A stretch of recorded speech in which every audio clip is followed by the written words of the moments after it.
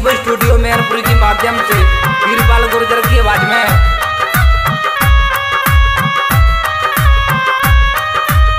और हमारा वंदना रागनिया चिटी रसिया।